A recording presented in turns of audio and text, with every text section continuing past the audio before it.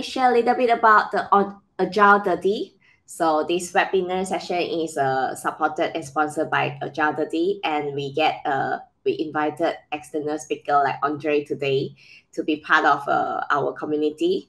So uh, we are going to be a community who help the Agile enthusiasts to connect global globally. So like Andrei, he's from Romania.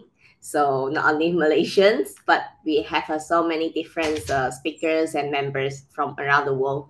So also Agile 30 is to boost the skill with our tailor for track mentorship, like Agile process and technicals and the product uh, development and also leadership. So we also uh, provide the top-notch uh, membership program with all the resources without breaking any bank. So, uh, and also as a community, we are beyond the certification and training. So let Agile 30 to be your partner in your personal and your professional growth. And then uh, the next thing I want to share you guys is uh, please follow us so that you don't miss any uh, resource or updates or coming events. So we also available in uh, LinkedIn, in uh, we call Agile 30 in the group. And also we have the Facebook and also we have the Meetup platform. Uh, so this is the website we do have. So slowly we will have more and more resources available in the website. So feel free to follow us. And I think my uh, some my colleagues also will have to pay some link at the chat box. Feel free to make use of that. So that's it from my side. I will pass to you, Andrei. Thank you. Um, and thank you everyone uh, for joining. Uh, thank you for opening your cameras. It was really nice to see you all.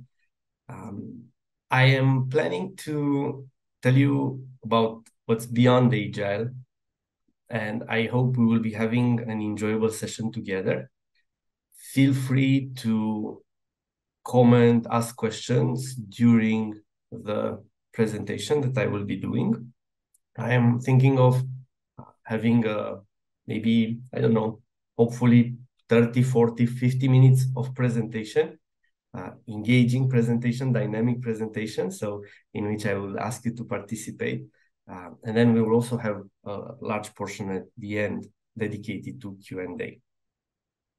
I don't have a crystal globe, so I'm not really sure what's beyond Agile and what's going to be next. But I will be telling you what I think uh, will come uh, beyond agile and how maybe the next two, three, four, five years will look like. But the same, I'm really interested in your perspective. I'm interested in what you think. I'm interested in how you see the future unfolds. Um, a couple of things about me. My name is Andrei Gavrila. I live in Romania, in Brașov, which is a mountain town. There's a lot of snow now in Brașov. Not a lot compared to, let's say, 10 years ago, but there is still there is still snow here, and um, I'm uh, I was born here. I moved to Bucharest, which is our capital for my university. Then I've also moved to Paris. I'm glad to see he, people from Paris here. It was amazing while I was there, and now I'm back to my hometown, which is uh, Brașov, uh, Romania. I have around uh, 17 years of experience in creating software products. I started um, by being a .NET developer, and the first, let's say, eight to nine years, I was a developer. So I had various roles: team lead, technical lead, software developer. Uh, but that's what I did. I was mostly writing code to create products uh, that were used by thousands, hundreds of thousands, millions of users. And then, which also coincided to the moment where I moved to Paris, I switched into, I would call them more leadership or management roles. So I started being a scrum master, uh, having uh, delivery management roles. Um, I prepared the Miro board for us just to, to have a, to have some slides and until one minute ago it didn't work. There was there was a downtime on, on the Miro side, but now we're back. Um, I I hope it will stay with us like that. If not, no worries. I will try to maybe share a whiteboard and draw some of the things there. Not really good at drawing, but I will draw simple things just to make sure that uh, we will still uh, get to understand what uh, what I mean. So I will share my screen and uh, I plan to I plan to cover today. Challenges when defining agile. You will see why this is important. We will be speaking a little bit about uh, what agile is and challenges when defining agile. What does it mean to live in a post agile world?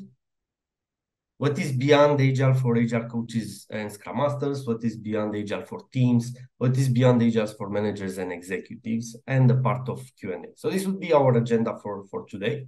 Um, i see that miro is still having some problems and i see some some some small lags but i hope it will be it will be it will be fine. Um, I think our time will be valuable if after our discussions here, we would be leaving with some answers and with twice as much questions. Why? Because I think by having questions, it will continue uh, the topic for us. So I'm I I'm not I didn't bring all the answers to this talk. I don't have all the answers, that's for sure. Um, and I want you to know that I do think that we will be coming out of this discussion with questions. Uh, I think that's uh, super healthy. And I would also encourage you at the end to connect with me on LinkedIn. If you want us to continue this conversation, what is beyond agile? What should we expect? I would love to do that. I would love to discuss with you one on one so we can schedule some time together. That would be really awesome. Couple of words about me. So I just said I have 17 years of experience, build a lot of products. Uh, some of them were used by millions of users. I worked for and with startups. Um, and the largest companies in the world. So the smallest company that I worked with had three people. The largest had at that moment 250,000 people. Now I think they reached 600,000 people. And I worked with a lot of companies in between, small, big, uh, at the start of their, let's say, life, company life. Some of them already having success, um, some of them uh, being in a phase of, let's say, um, having products that might be in maintenance, trying to figure out what's next for them. Uh, as I said, around eight years I was in technical roles, nine years in leadership roles, eight years I was working for product companies. So that means companies that were delivering the product themselves. And nine years I was working in outsourcing. And I call this the uh, I call this eight years in product and nine years in outsourcing a dual experience mode because it got me the chance to work to really understand how a company that focuses on the product works. But then the other years in outsourcing got me the chance to work with a multitude of companies, maybe not as in depth as for the product companies, but got me the chance to experience a lot of context, to understand what works for a lot of companies, what doesn't work for a lot of companies. So um, I'm very proud of that. The fact that I have this dual experience mode, I think my experience is uh, interesting also because uh, because of that. Uh, in the past two years, I focused a lot on consulting, audits, and due diligence. So I was working with company um, C-level executives uh, for in their quest to change their companies, to um, make it better, to seize the opportunities, to reduce the problems that they have, um, due diligence there, I'm not sure if you're familiar with this term, they are kind of audits that are done when one company looks at buying another company, not just that. So I have experience with that too, uh, understanding uh, and uh, evaluating companies from that point of view. And in the end, as I said, I'm a CTO, technical advisor, agile coach, and mentor. Uh, but enough about me. I would like us to discuss a little bit about uh, beyond agile, and we'll start with defining defining agile. Um, I am tempted to invite you to help me with Miro. So let's do that. I will share. I will share this board with you because um, I need your help. Um, yeah, if it works, and I hope it it didn't freeze. Yeah. Um, let's see. Maybe it was not necessarily the best uh, the best idea. That's fine. We will uh, we'll we will recover. Um, I'm interested in understanding what agile is to you. And why, why am I asking this question? Because depending on how each of us understand agile, beyond agile is different. So uh, I will not be doing that. I think it's a bit risky if we will connect. Maybe things will be difficult. But if you want, it will be maybe um, uh, really useful if you can maybe use the chat in Zoom and tell us, share with us what Agile is to you. It's no context, no judgment. We are not here to get the best answer, but we are here to get your answer. And I will tell you why this is important in, in a minute. Um, so if you if you would like to share with us in chat what Agile is to you, it doesn't need to be sophisticated, just a couple of ideas um, what Agile is to you. So we have an answer on chat from Stefania, a mindset. Um, thank you. I'm also going to give you access to Miro uh, and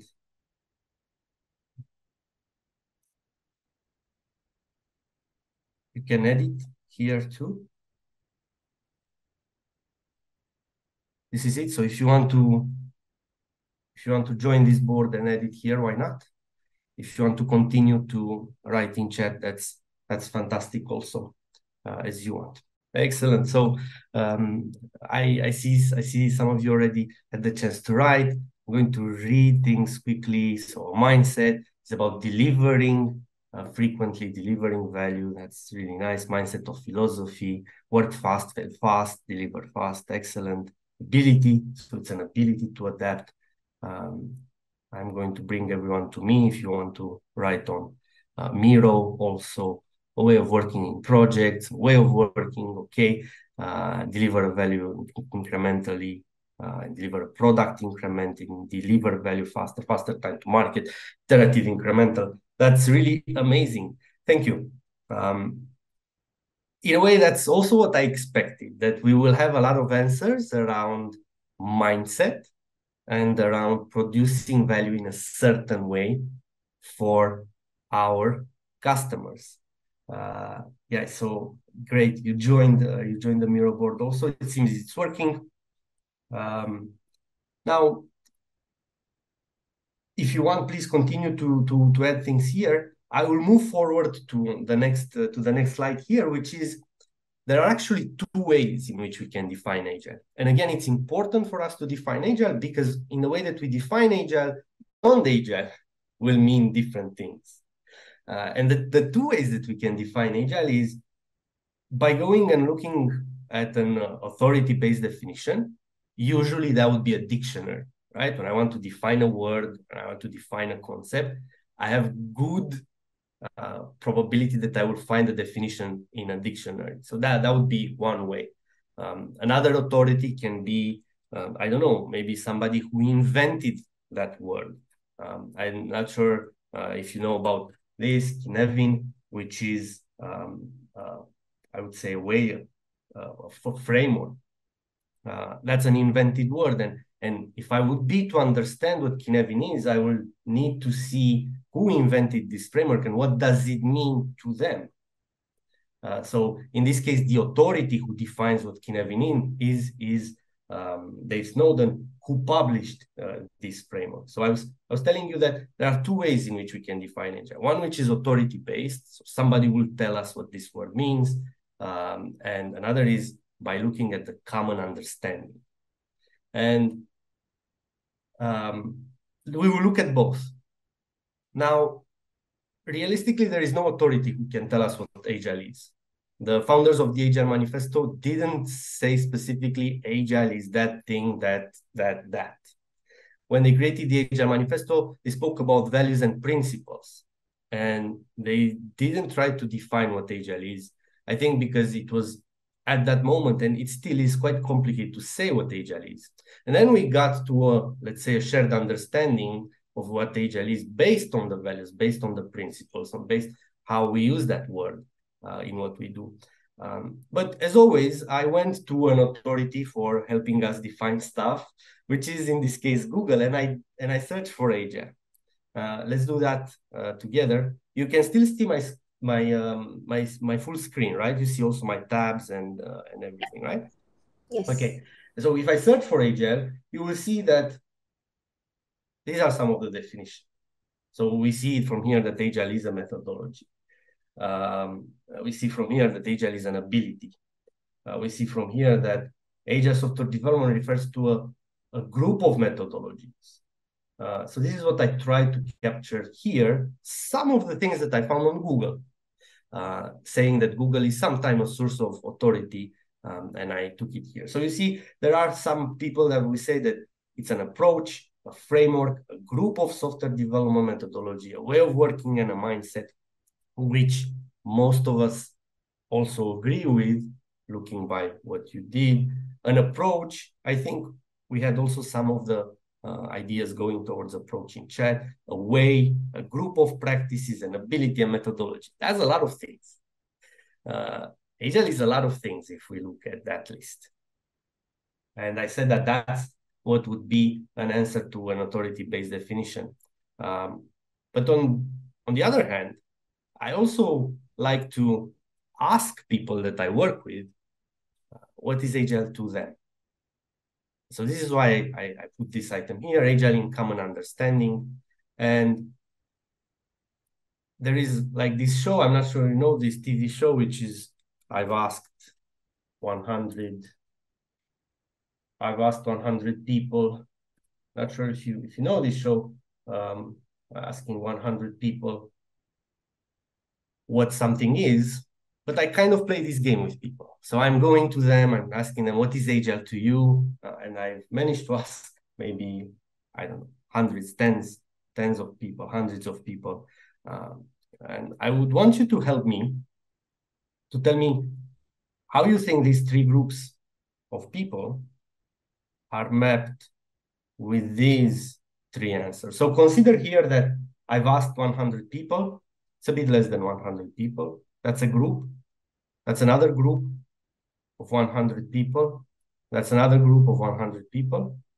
And consider these three groups and try to tell me what your intuition says. So which one of these groups here map to these three groups here. So as you can see, I've asked 100 Agile coaches what Agile is, and they said one of these three options. I've asked 100 executives VP what Agile is, and they said one of these three options.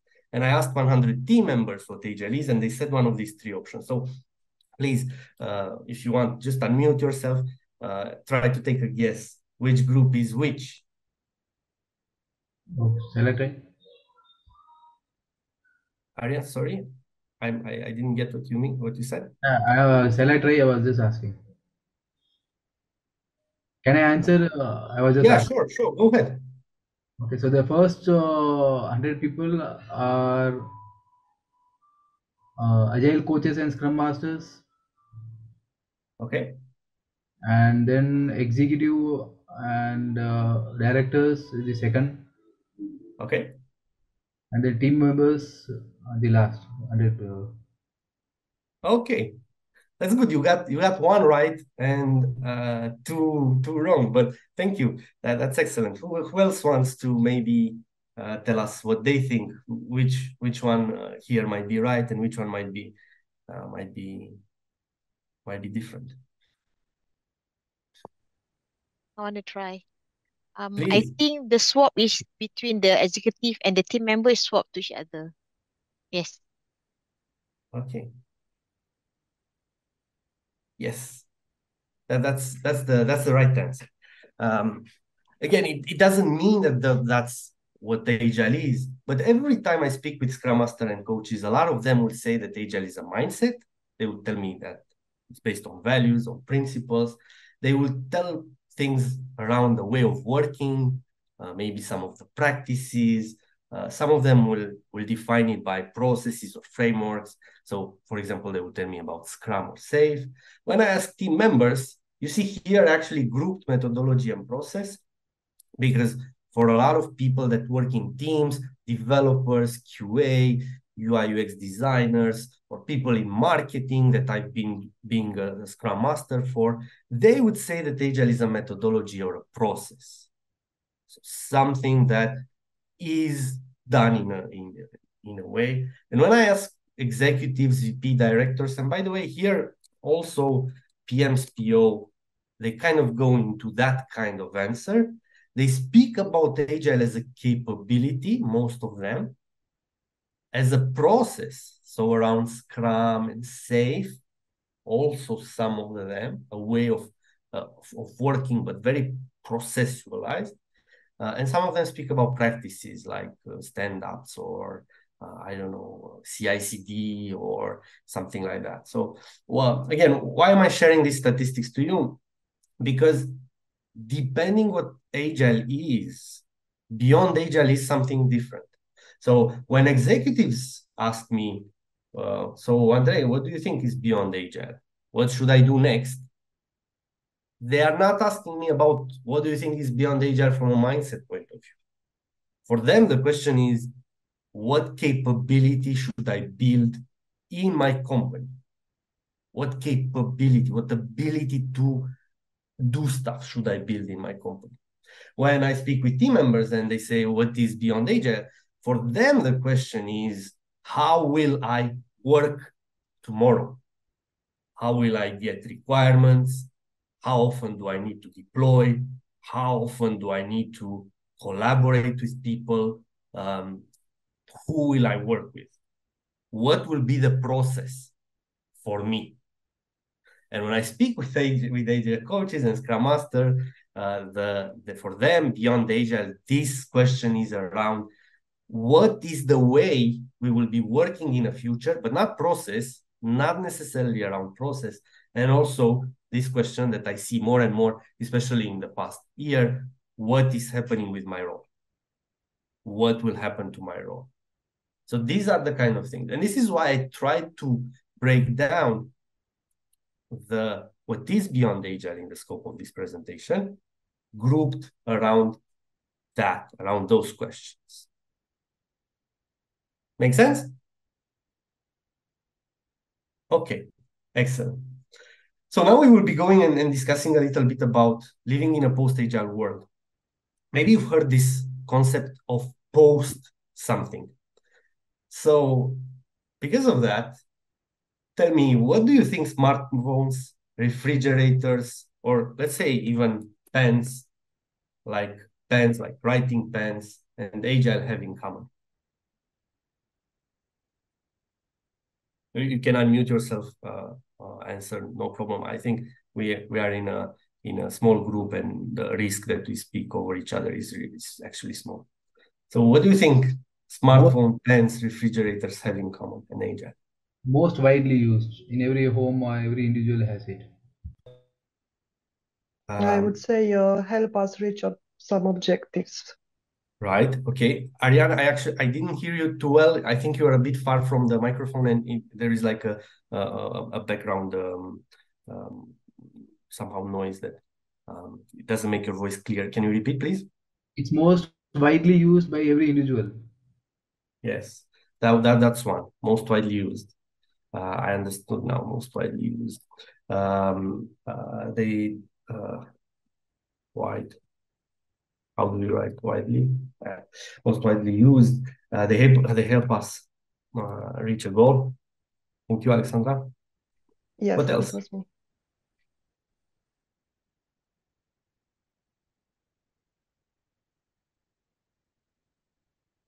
different manufacturer? Created by people. Excellent. Is a tools. Different manufacturers. It's really great. And they are tools. Yeah, fantastic, fantastic. So you're right. All of these things are here. So they are things that are created by people. All of them are widely used. So now if you want to write something on paper, you will be probably using a pen a type of pen, a ballpoint pen, for example. We all use them.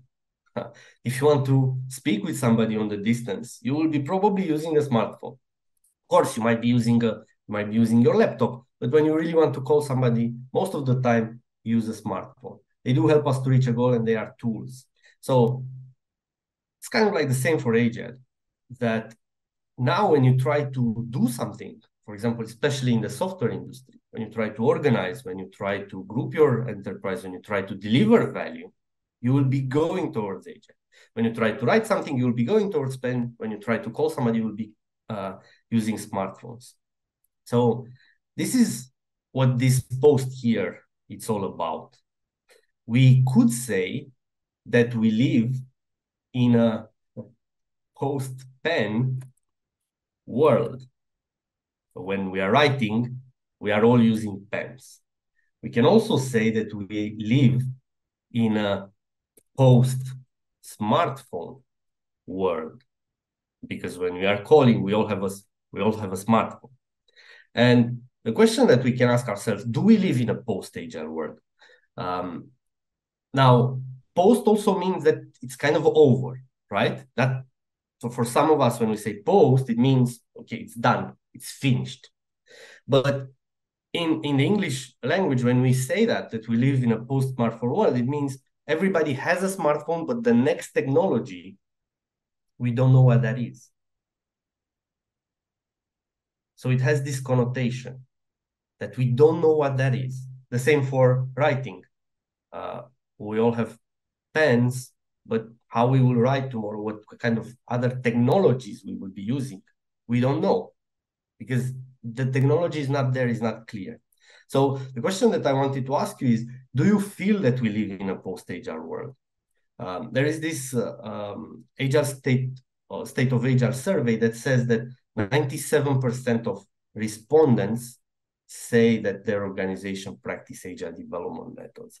And as you'll see here, uh, a lot of them are actually practicing it for five or three to five, five plus years. So the answer, in my opinion, is yes. We live in a post-agile world. All the companies in the world they want to be agile. They speak about agility. Uh, uh, they they make that uh, their uh, one of their most important goals. And I was also telling you that I'm doing due diligence and audits, and that's a question that I get to hear from investors often. How agile is that company? How do you know? How do we know?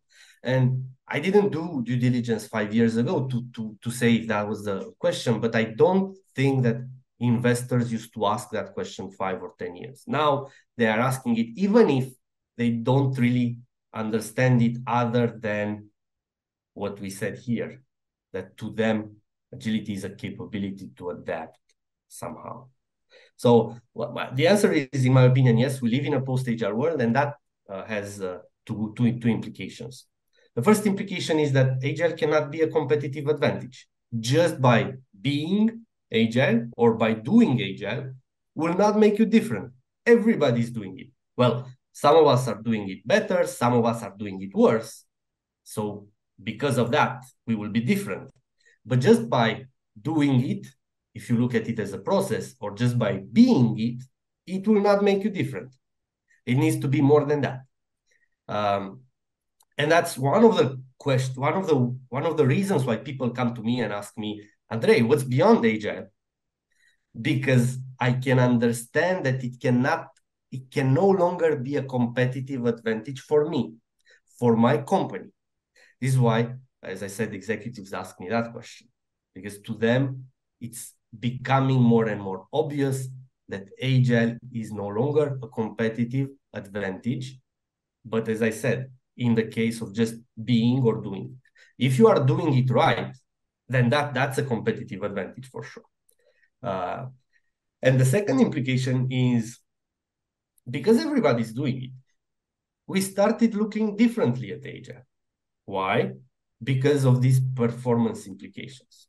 And let me tell you why when we do when when everybody is agile or doing agile again i'm i'm being really careful about these words i know a lot of us uh, being agile coaches or scrum masters we are really fond of saying you have to be agile and not do agile but that's not the reality in the industry because at least two other groups they consider that we have to do agile that's what they answer um, be- because of that because everybody is being and doing agile, we have an interesting situation. Top performance are doing it, middle performance are doing it, low performance are doing it. And when I say top, middle, and low performance, I speak about companies. I'm speaking about companies that are having top results, middle results, bottom results. And uh, I don't know if if that's it's the, if that's of any value to you, but it should be because it's again it's linked to that that is no longer a competitive advantage, but also it's linked to the fact that we have a lot of middle and low performers in the agile game, and that has implication on how the industry is seeing agile because they are associating that with the results that we are getting. And I do hear from some of the companies that I work with, not just that, that agile is not a competitive advantage, that it's not good enough, that is bad, that is not working out, that is not helping out. Again, because agile is so linked with what how we are doing things and, and with with the results. And I also want to, to tell you that a lot of us, when we think about results, we look at this Gauss curve. Uh, and this Gauss curve says that if you take a population, any population, like human beings, and you try to find out something about them, their IQ, it will mean that we have an average in the human population, and 50% of them are above average, and 50% of them are below average. So in a way, 50% have a bigger IQ, 50% have a lower IQ than the average, right? So let's say that if you are here, it means you have um, an IQ that's higher than the average. Now, again, if you are a company and you are here, it means that your results, your performance, your company performance, the way that you deliver value, the return on investment, uh, the happiness of your em employees, uh, the engagement of your customers. It depends what results mean to you. Is you are, and you will probably see that you are better than the average. That's when you are here somehow.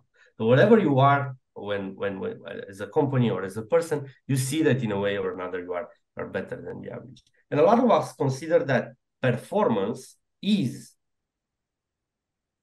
in this kind of distribution. But the truth is that we have good information that it isn't.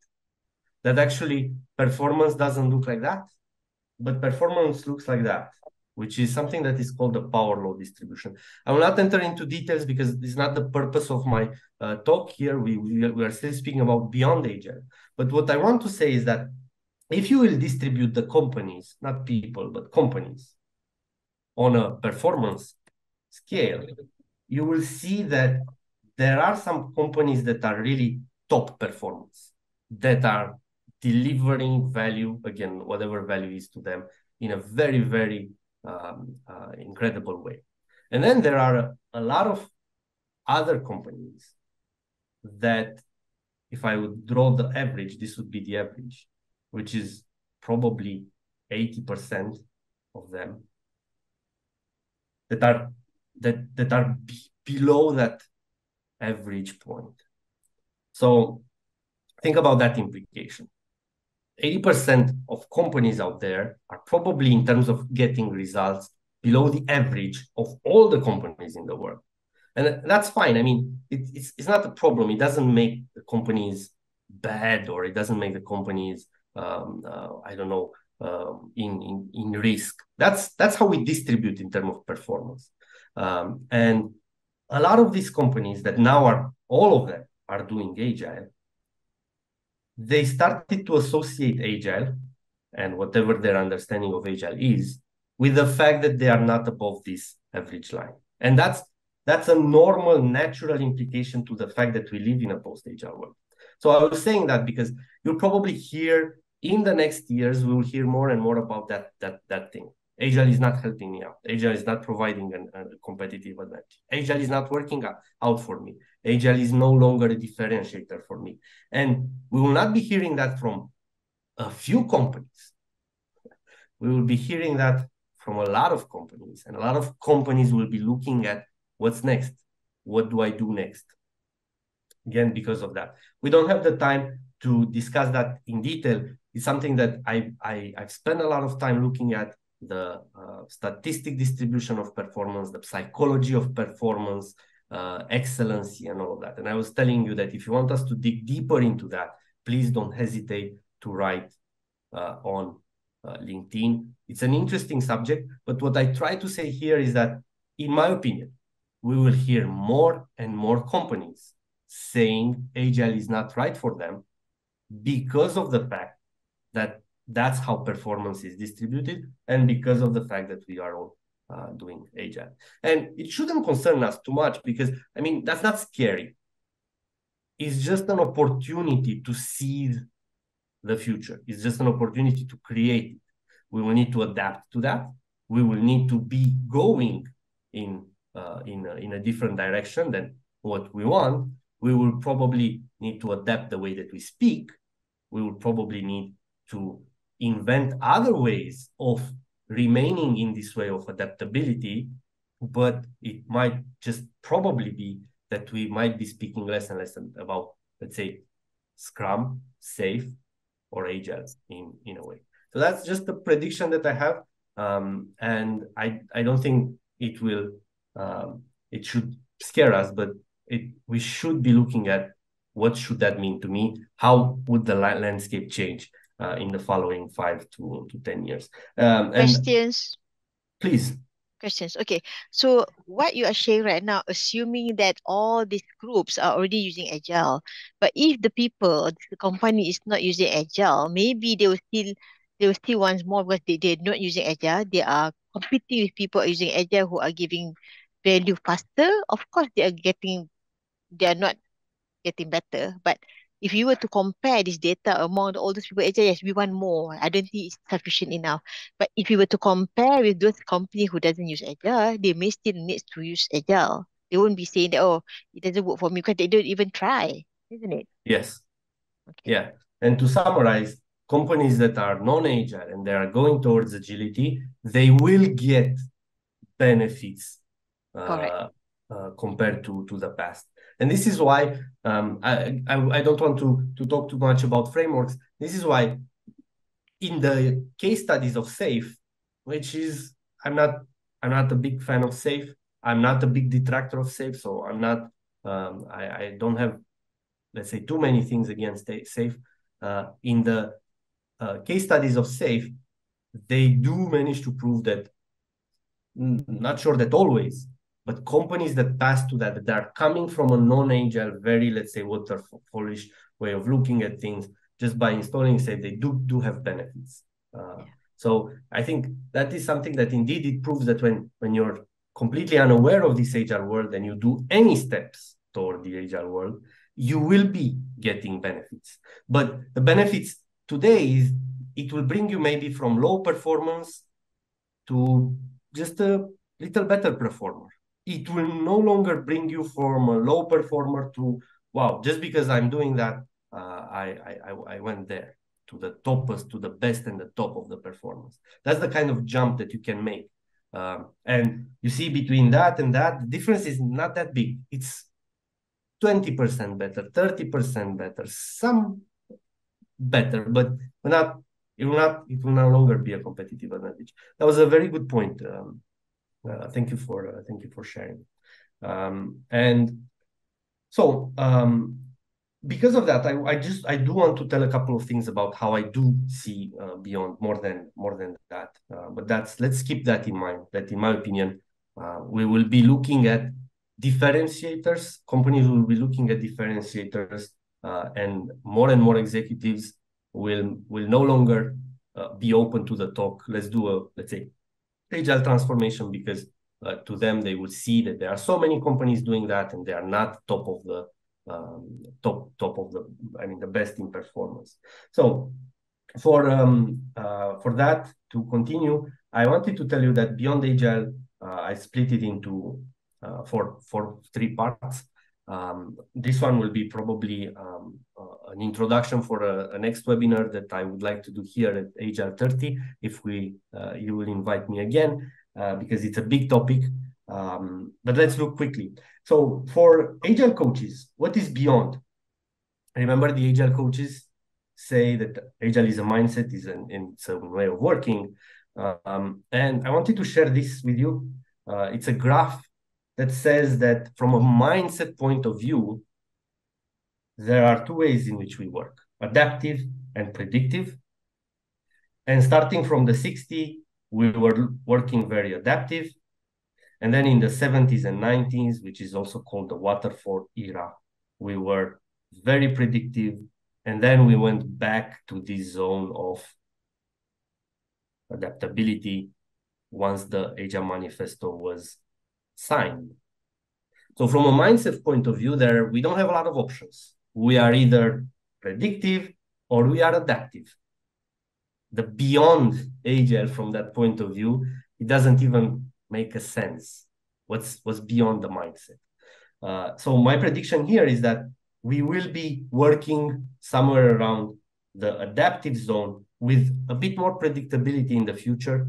This is what uh, we see more and more, but we will probably not leave this area of actually adaptive or agile uh, in the future. So there is not much from the mindset point of view. And even if you look at the evolutions uh, that uh, that are happening, and um, uh, here we have um, the Heart of Agile from Alistair Cockburn. Here we have Modern Agile from um, um I forgot uh, his his name, um, but it's re really cool, a really cool iteration on agility or agile two. Most of the things from a mindset point of view are just about an evolution of values, a better understanding of values.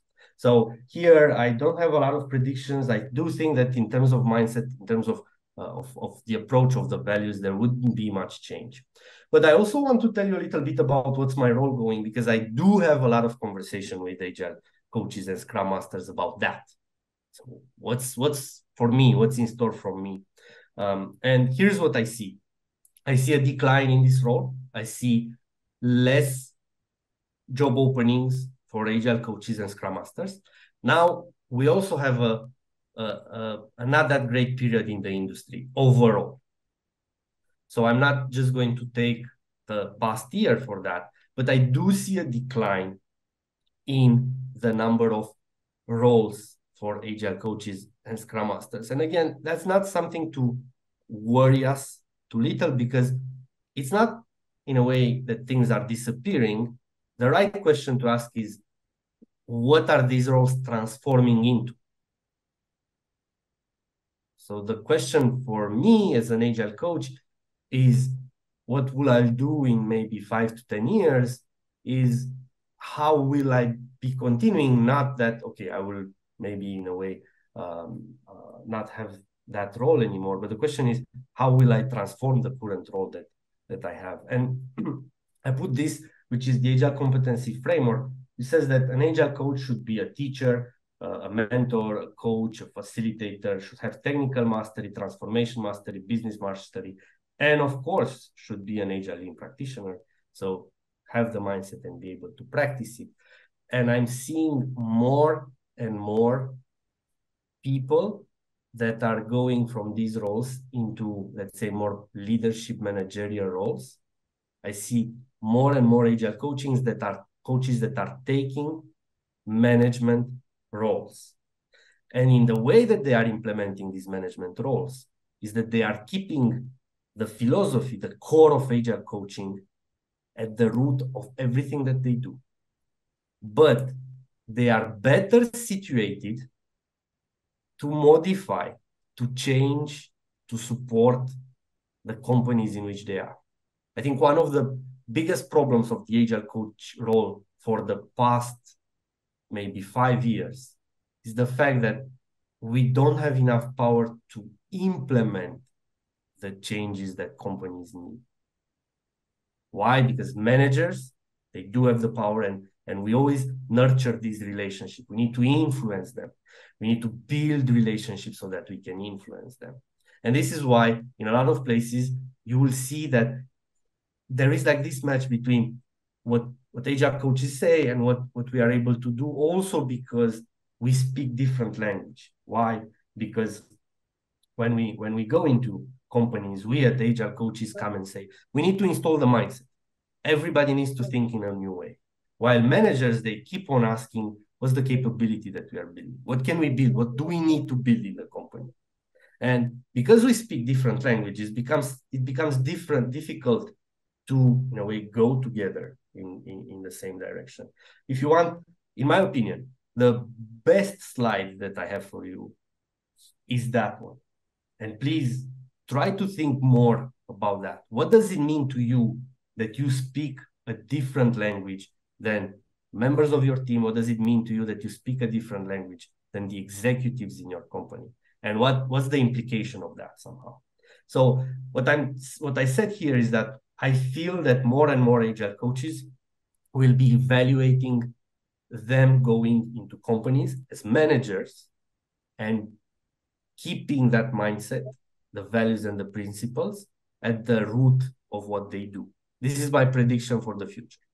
Uh, that we will be seeing more and more people that are going into more, let's say, decision oriented roles. And I think that's great because every time that I work with a manager or an executive that has agile, agile coaching as a foundation, I it's not that it's not that we just speak the same language, but you can see how that company is different from other companies that, that didn't get there yet. You can you can see the context, you can see it in the results, you can see it in how engaged uh, people are, you can see it in um, in a lot of things. So uh, where's my role going? My prediction more into management. Think if that's for you, uh, and yeah, think about about embracing that. Um, and now I will say a little bit about what's next, in my opinion, for teams and managers. And I consolidated this into uh, one uh, one answer because for both, from, from in my opinion, for both of these roles, it will be the same. Uh, it will be the same answer. So let's look again on what what what these roles answer. So team members say that agile is a methodology, a process. For them is when do I do work? How do I do work? what will it happen? And executives, they say agile is a capability, right? So they would say, what do I need to have in my organization processes? What capabilities do I need to build? That's that's the answer. And in here, um, I will tell you how I see um, transformation in the industry now. And actually when transformation happens I, am not a big fan of the word transformation but again i think it says kind of like the same thing for all of us um, companies will con- are in a constant transformation. They will continue to do a transformation for the entire life. And the word transformation kind of says that we will finish the transformation at some point. But in the way that companies approach those transformation, um, um, they approach it having these, let's say, three domains in mind. One is culture or mindset. exactly what we said about agile coaches. Another one is practices process.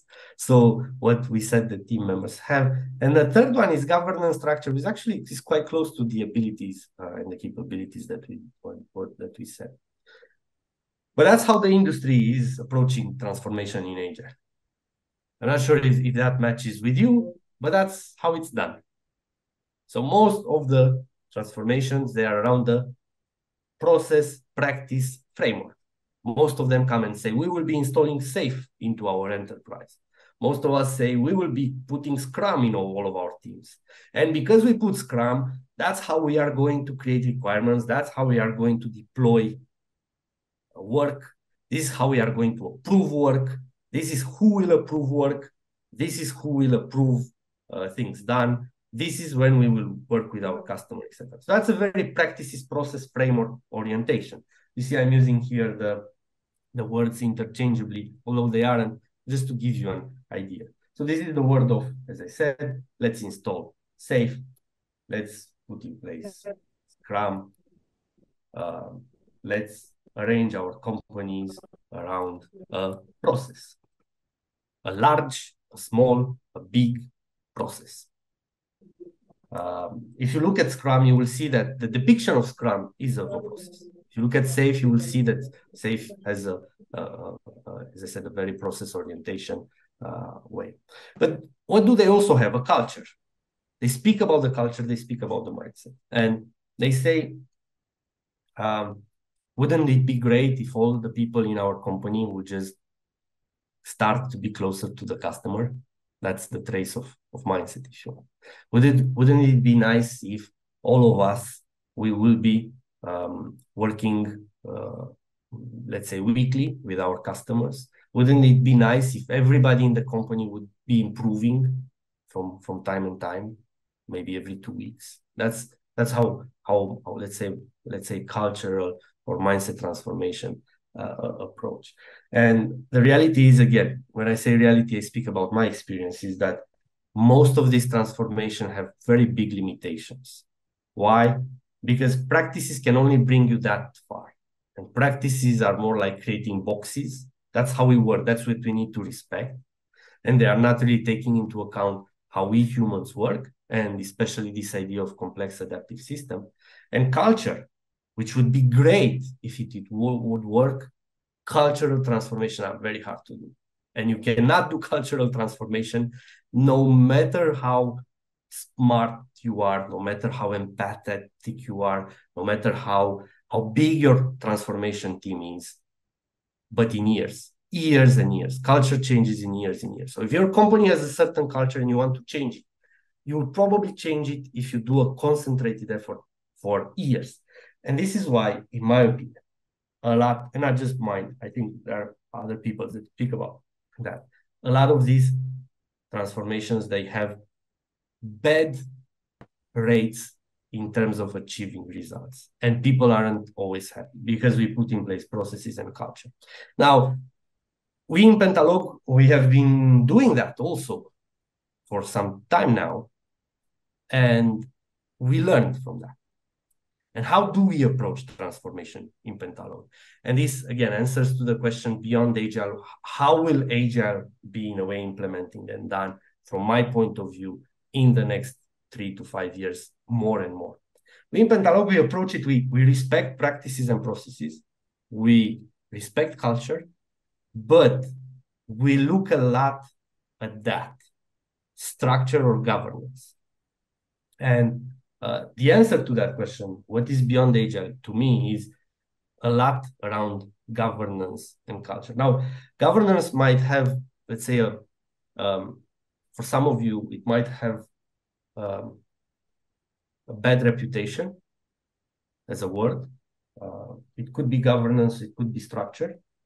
Uh, but let me tell you what, what I mean by, by governance. I will try to tell you that um, here is how we approach, here is how we approach, um, sorry about that. Here is how we approach I'll, I'll just take an example, which is the backlog, the product backlog. Here's how we approach, let's say, implementing product backlogs in companies that they aren't using uh, product backlogs from these three points of view governance, culture, and practice. The first way that we would approach product backlog is inside of a process. So we would be saying, I'm going to install Scrum. We all need a product backlog uh, a product backlog is going to be the one that we put work to do. And during Scrum, we will be taking work out of the product backlog, putting it in a sprint backlog and working on that and delivering that. And that is a very process way into trans into let's say putting in, in, in place one practice around agility. I try to simplify it. We look at the practice because I would like you to understand how we would approach product backlog from these three point of views. And a lot of companies, as I said, they approach backlogs like that. They say, so we need a backlog. Here is who will own it. Here is how we put things in. And here is what we are going to do. And in a lot of companies, you will see things like that. When an initiative comes, we will review it in a portfolio committee and compute expected return on investment, main business case and delivery approach. If the expected ROI is be, be above 76.7, this is a fake number, right? Then we will be putting the initiative, uh, we will be start documenting the architectural use cases. This will include the, the, the, the if it's not before that, we will be putting that into another thing. This is what, as I said, process looks like. And this is what transformation that have process at the core they look like. And again, I see a lot of companies that they do that in the uh, idea that processes will save us. Um, from a mindset point of view, it's that. From a mindset point, point of view, people say we need a backlog that will cap capture the value uh, from our customers. Value should be the most important thing. Again, a good ideas. From a governance point of view, when we would be implementing a backlog, we would be looking at rules. Here are some of the rules that we can have around the backlog. That it is owned by a single person who has the power to change it. That it is ordered based on return on investment. So we do that, but we don't tell people how. We say our backlog should be governed by these rules, that it is ordered based on ROI. But as a company, I'm not going to define how you do that or, way of ordering. That it will no longer have than 150 items and that the cycle time in a backlog will be uh, less than 25 days. So these are just examples on how we would approach that. Maybe I was a bit, uh, maybe I was a bit in a rush here, but what I wanted to tell you is that anything, a large agile transformation, or a small thing, which might be how we handle a product backlog, can be approached from these three perspectives practices, culture, and governance. Today, our transformation, they go into a lot of practices or processes, some culture, and very little governance. And this is why, in my opinion, and again, in our opinion in Pentalog, we, we see limited impact of this transformation. On the other hand, if you start approaching it with some practices and process, with some culture, but with a lot of governance, which means making these kind of rules and understanding how they are applied in your company, which is what governance in a way is, and how efficient we are in applying them, we see different kind of transformations, which are much more successful than um, than uh, than before. And um, again, that that could be um, um, um, or let's say a theme for one of our next uh, webinars. If you would like us to get into depth by that, just wanted to show you that in Pentalog we do try to capture some of these rules into what we call maturity model, and we use this maturity model to look at companies from this point of view. Are they in an immediate risk or obvious risk of failure? Um, are they uh, in a state of wasting resources? Uh, are these companies in a state of efficient and effective way? Uh, are they innovative and do they perform as competitive advantage? Because these rules here, they are grouped around that. There are some of the rules here that are around these are the basic of the basic that we need to respect. And then there are some rules that say if we will be respecting that and if we manage to get there we'll be having competitive advantage. We'll be very in a way much better than our competition. The topic today was beyond agile. And i wanted to uh, tell you that um, ever since we did this way of looking at agile uh, and on efficiency, on how we want to work. Um, we see uh, something. Um, this is just I, I tried to create one of the reports that we are using in Pentalog, um, and in here you will see that that's risk. That's a lot of risk, and that's very little risk. Um, and these are projects or let's say collaboration customer collaboration. And this is like the, the, the let's say the, the, the structure score that that that i was telling you about. And we said that when we will be doing we will be starting to look differently at these things rather than implementing processes but looking at, at governance. Uh, we will be seeing that collaboration that have really good structure will not be in risks. And we do see that. And collaborations that are in poor structure, they will be in high risks. And I couldn't, of course, show you the report from, from my company uh, because it contains client names and all of that kind of things. But I try to duplicate it here And we look at this report again and again and again, and it tells us that this approach that we have, focusing on something that's governance and not on something that's process, is working out. Um, so that's it. That's that's kind of what I wanted to tell you, and I just want to summarize this to go quickly and to summarize so that we we understand what I what I was trying to share, and we have uh, more than twenty minutes to exchange afterwards. I wanted to tell you that different groups of people understand what agile is differently. So if you want to have a conversation with them about what's beyond agile, you have to first understand what agility is to them. Um, mindset is something that agile coaches and scrum masters do. People that work in agile and let's say decision makers don't look at it like that. People that work in agile see it more as a process. People that decide see it more as capabilities, ability to do stuff. Uh, my opinion, the sooner that we do this switch and we start speaking the same language, and the switch should be done like that, not like that. So not like that. You will already start seeing results in your company. The second thing is that everybody's doing agile, and because of how performance is done, most of companies doing agile, 80% of them, they are not really great at it. Because of that, we are seeing less and less people excited by the idea of agile and agility.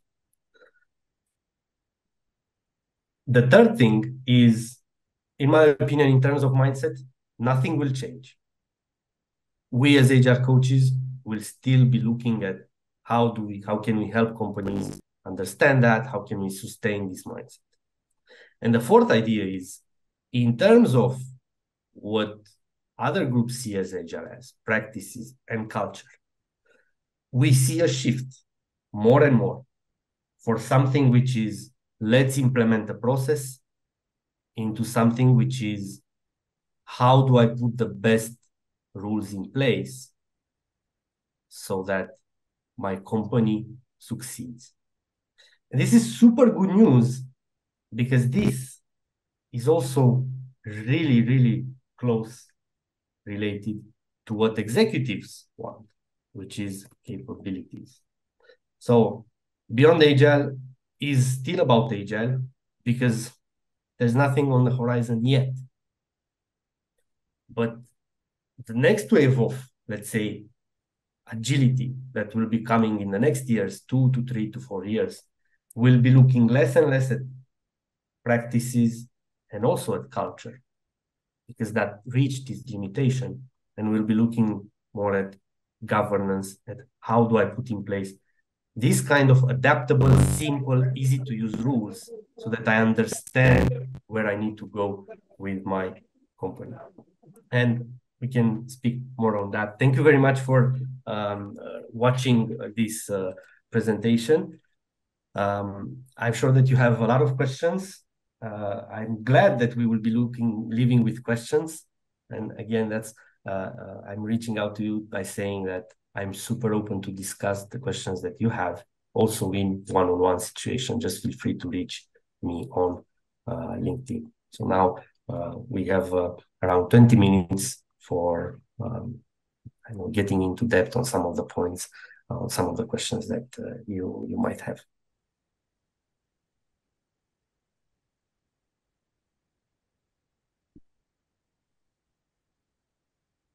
Yeah, Ingrid, please go ahead. Hi, um, thanks for the presentation uh, first. And then my question is uh, how to move from a process uh, to, to a governance uh, capabilities because we we see that people are, uh, are uh, have difficulties to to to go out of that processes that make them confident of uh, things to be um, um, how do we say that uh, uh, in control. uh, uh, yeah in control. Thank you. In control and constraint yeah. Um, yeah. Yeah. Excellent question. So this is one of the reason why process won over mindset. When you start speaking about mindset, it makes people in control worried. How do I measure mindset? How do I control it? How do I box it? How do I know where we are? Super difficult to do.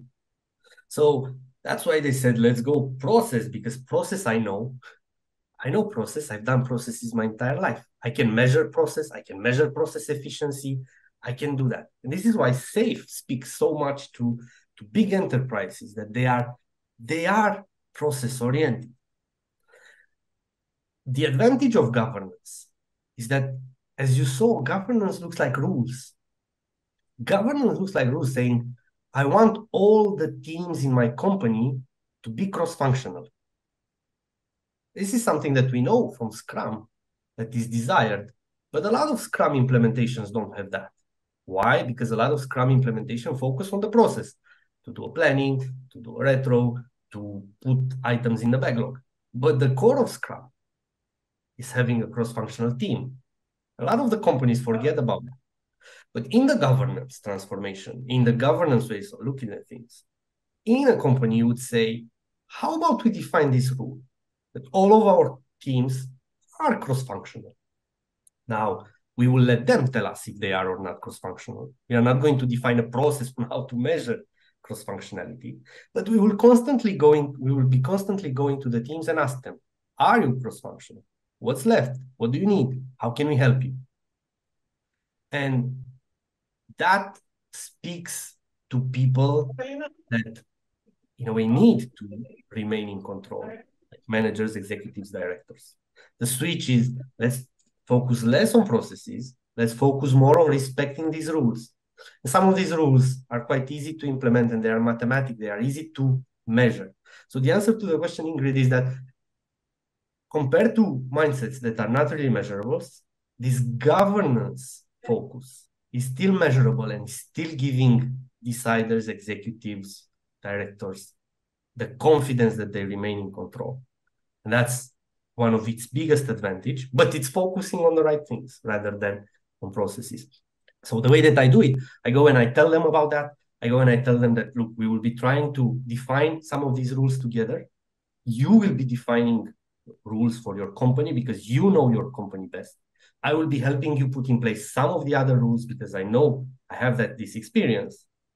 And then we will end up with a set of rules, not too many, because we don't want to have too many rules. But then once we have these rules, we will try more and more and more to respect them. So we will start with a company that maybe has 20% of their team cross-functional, and we will set a plan that in the six months time, we will have 80% of teams cross-functional. We will not set the goal that all the companies will be doing Scrum. That's also a governance rule. We will set the goal that all the teams will be cross-functional. Okay, and maybe we will be doing Scrum. But it's that switch from process to governance. I, I hope this helps. Yes, clear. Thanks.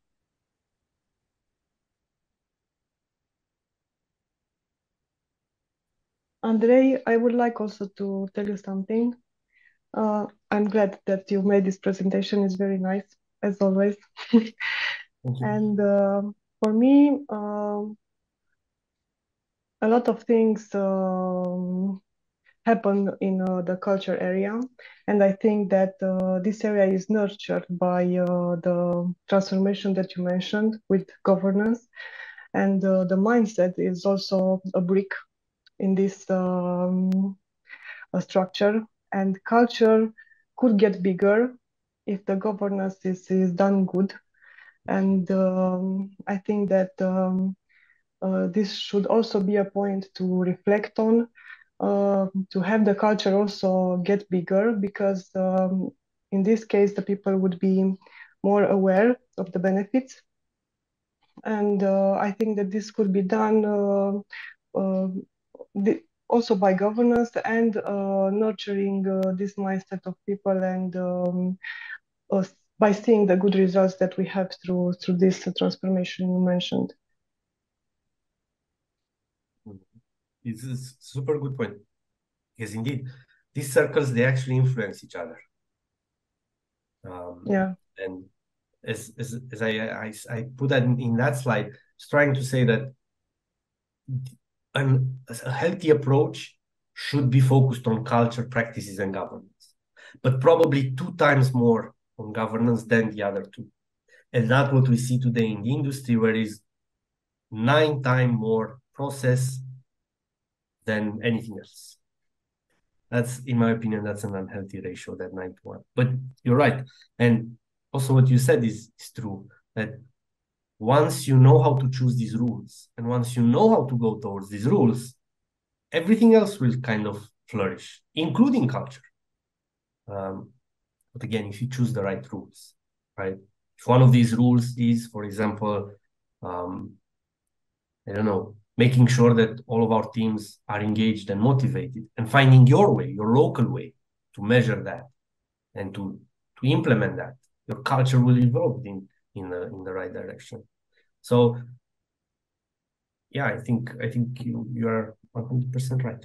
They they do, and I I hope nobody here got the impression that culture is is is not important. It is, uh, and it will um, be better uh, if you know on what to focus and not focus on culture itself first. yes, and another thing I wanted to ask you, maybe you saw it uh, LinkedIn, I think, uh, trend or some people are attracted to to this, even articles on Medium and stuff. It's a Cliff Berg. Uh, I don't know if you saw his post.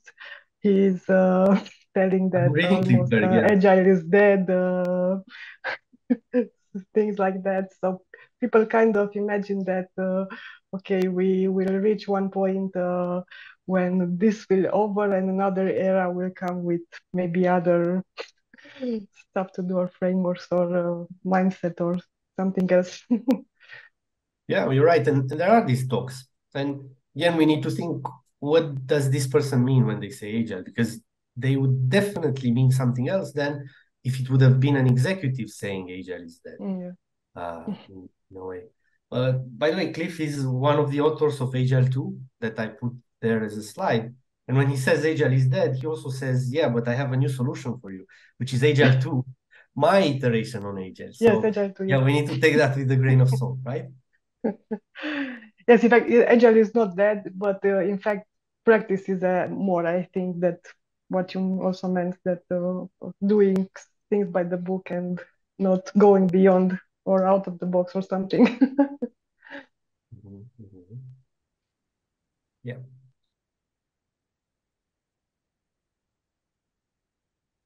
Uh, personally, I don't think that uh, we need to give up to, to this. And I think that for the people, when it really works, it's nice to go on and keep keep the the way.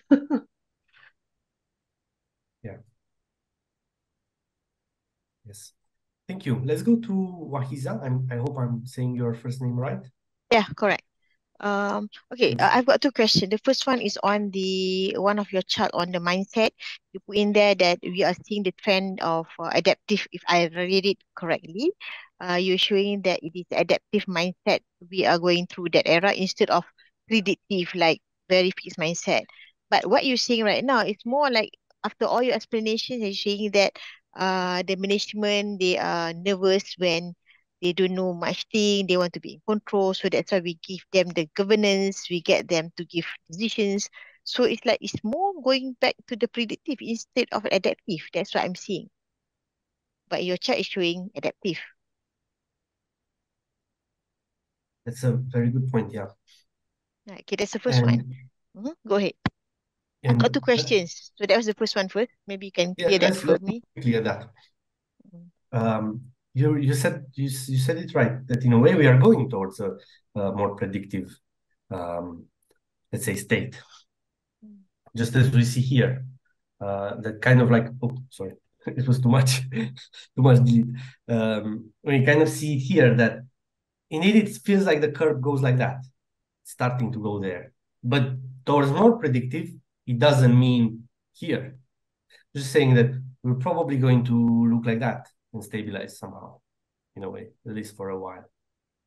But yeah, that's that's the thing. And and in my opinion, um, we are currently in a process of stabilizing like this through a lot of processes.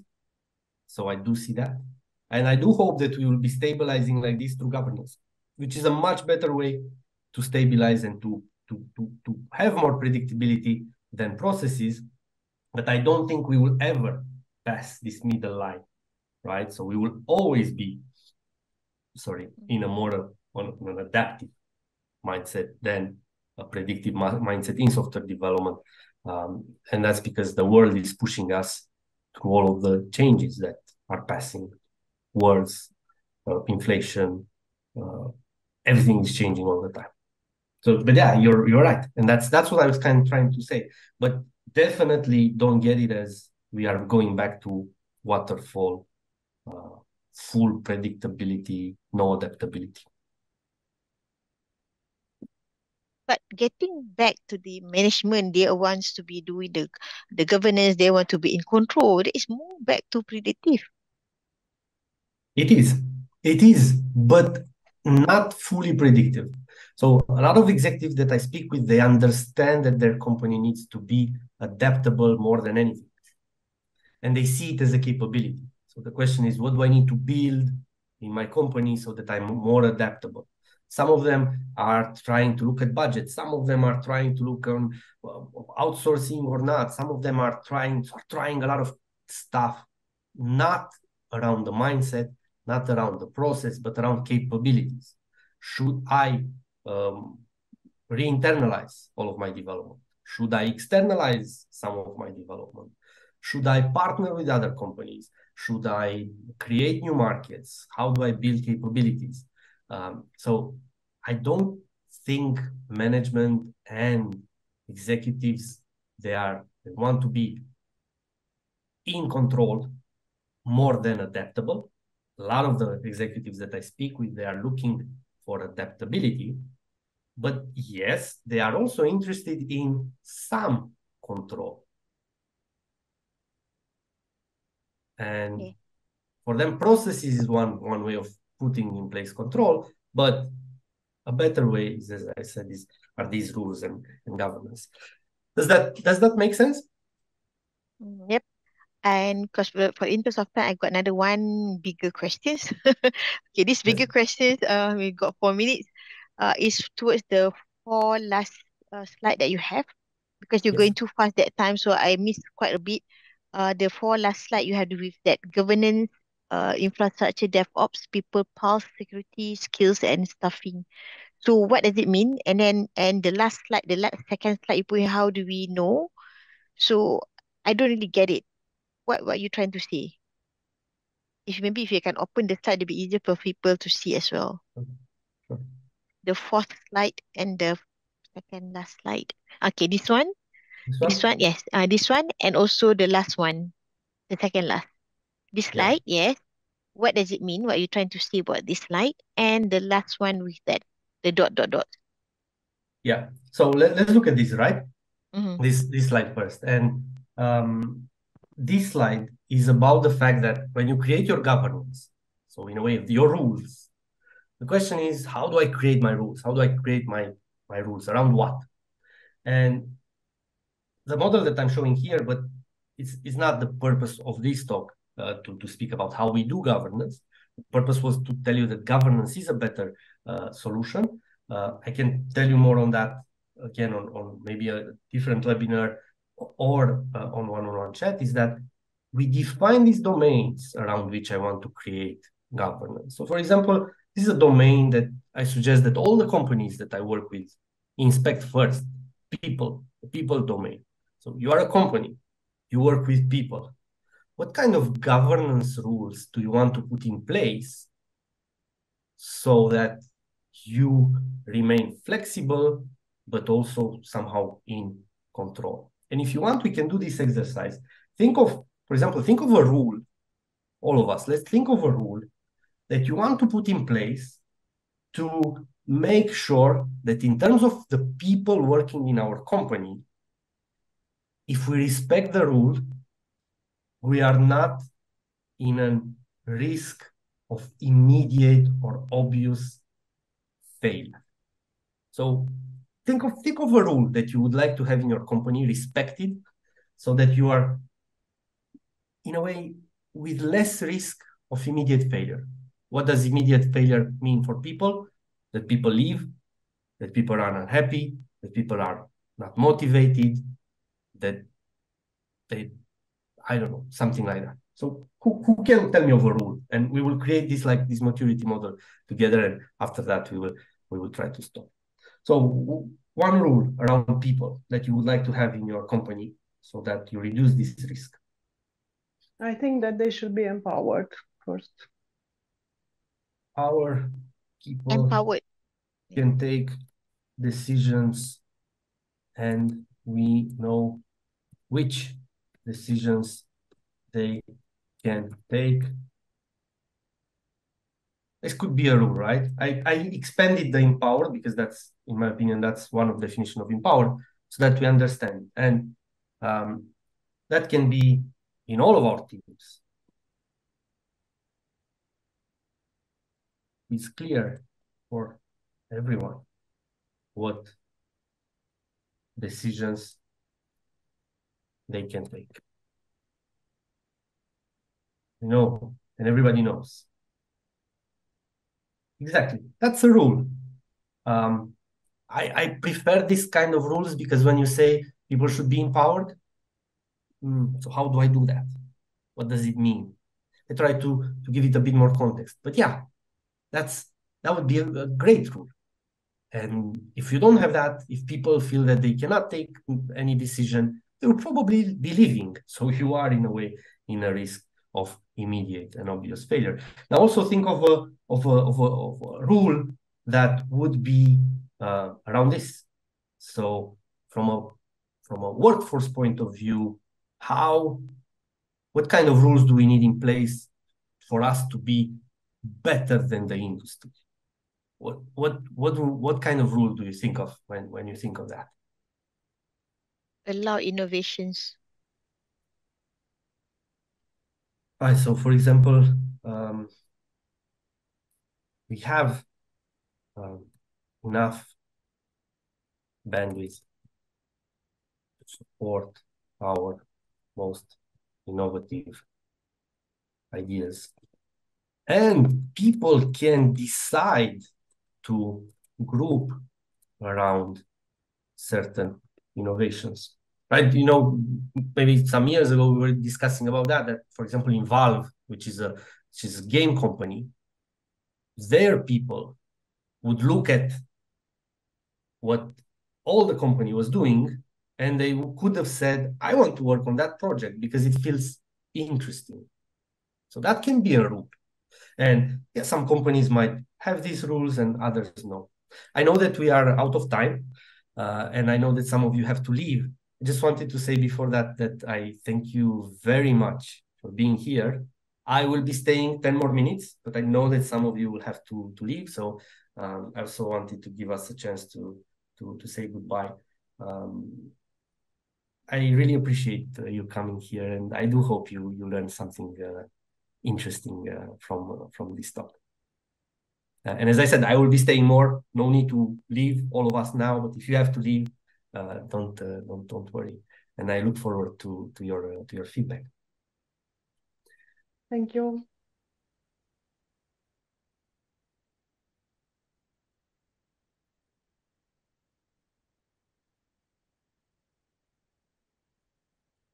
So if we look at this, that in a way is uh, coming back to that question. That that was what what was here and why this had this thing. Because when we when we do governance, we define some of the domains in which we want to do governance. And you see, these are domains like security or skills or testing or turnover, staffing, or and there are more. And this, uh, by the way, this slide, I didn't present it, I didn't speak about it. I think it's fine if we, if we just don't take into consideration. Yeah, no wonder I didn't catch it. Because that, okay, Yeah, I yeah. didn't remember that. okay, so that one, uh, that dots one, the one I confused. Okay, you say that how do we know this? So what is it? Uh, you say and then, then you put structure. Yes, and then you put structure. What do you mean by structure? Yeah, structure or governance. So I've been using these terms interchangeably in govern, govern, Oh, so it's governance. Okay, now I get it. Yeah. I've been using these terms interchangeably because, yeah, to some people, governance, as I said, have, has a bad reputation, like government, like a lot of command and control, a lot of, uh, let's say, um, uh, hierarchy and this kind of stuff. But what I was speaking about here is not about that. It's not about a lot of command and control. I'm speaking about just enough structure for things to be uh, in, in, in the right balance. I'm not a big fan of, let's say, too much structure. And I was also saying that too many rules, it means you are no longer actually benefiting from, from that.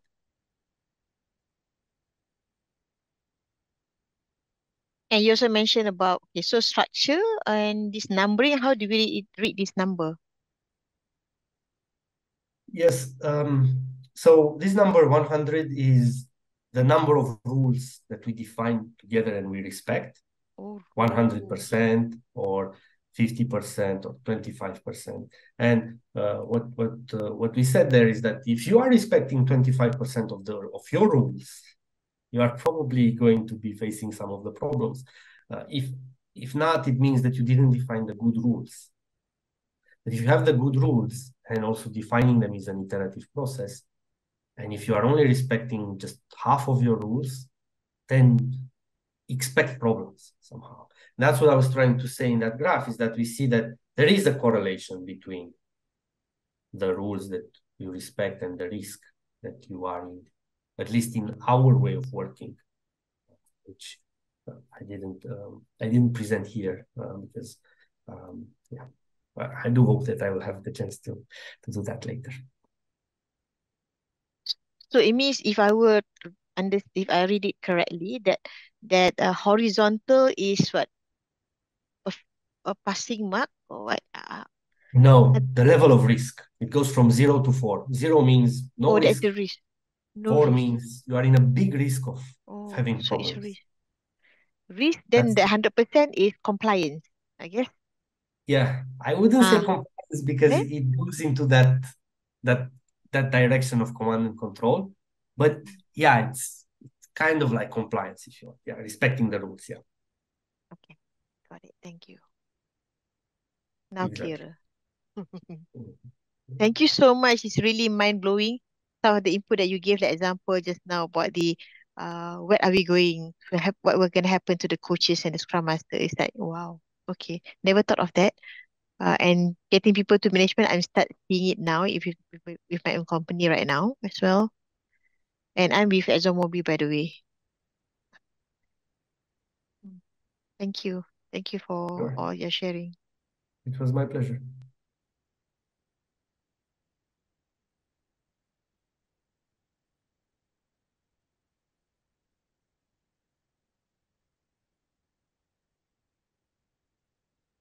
So is there any other questions?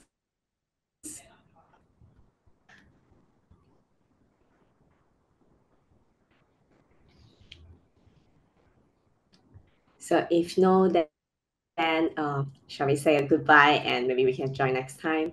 So Andrei, are you sharing something?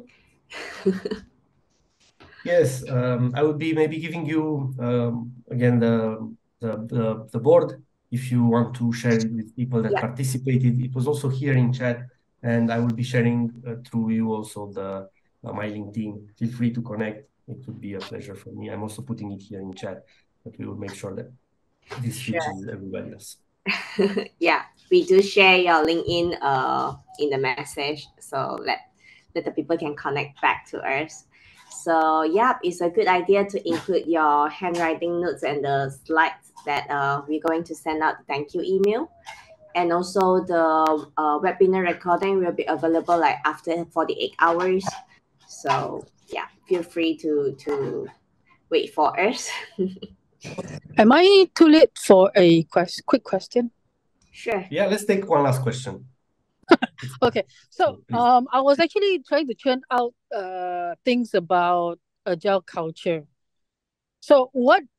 So uh, one thing that's actually lingering in my mind is like, uh, what is the what is the euphoria? What is the the the ideal state of culture that an organization should be? Like, what's the goal? Yeah, so I think yeah, that would be a, a, a long uh, a long question, uh, but that's fine. Maybe we can maybe we can connect and discuss it uh, discuss it together. Short answer is to me, culture is the way that the company is behaving. It's very linked to that. Yeah. Today, in this super dynamic environment where everything changes, we need a culture. So culture behavior that brings us closer to answer to this ever-changing world. So to that, I would say that agility, that's what it kind of tried to answer and, and the start. How do we need to think and how do we need to behave to be able to adapt? Um, and in your company, you can have a culture around that, which is yeah, more adaptable or less adaptable. Uh, to me, it's definitely uh, clear that companies that support change and adaptability through the culture are the ones that are having better everything. People are happier. Um, uh, they are having better results. But yeah, let's take that maybe also offline. Uh, Jasmine, thank you. Okay, thank you. And with that, we we we end, right?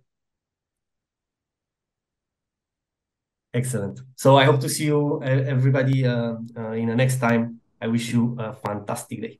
Jane, do you want to add something for the end, or? yeah, I will just uh, say goodbye to the rest, and also thank you for your time and all the wonderful informations. It's really give us a different uh, point of view of thinking. So thank you so much, everyone, uh, for for the time. So Andrei, we also wish you to stay with us uh, for a while. So maybe uh, we can just say goodbye to the rest. Feel free to excuse Thank yourself. Bye bye.